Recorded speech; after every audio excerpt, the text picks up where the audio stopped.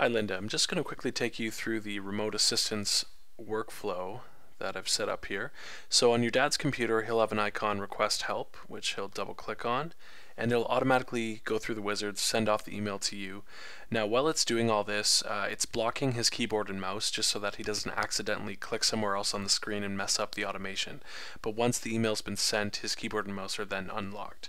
So the email's been sent off. Now switching over to your computer, you'll have an email and you'll just need to open up the attachment and enter the password which I'll give you in an email and then it's going to ask him if he wants to allow you to connect. Uh, the script will automatically take care of clicking yes. That'll normally be instantaneous, but I've just put in a pause just so that you can see what's going on here.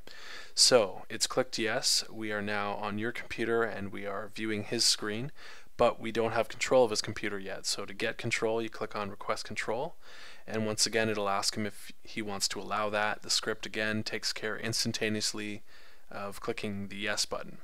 Now we have control you do whatever you need to do and then once you're ready to disconnect you click on disconnect now you can see down here in the system tray that uh, the script is paused it's waiting for a disconnection notice because once you disconnect it's going to ask him uh, sorry, it's not going to ask him anything. It's going to keep the remote assistance window open, so it'll take care of closing it down for him.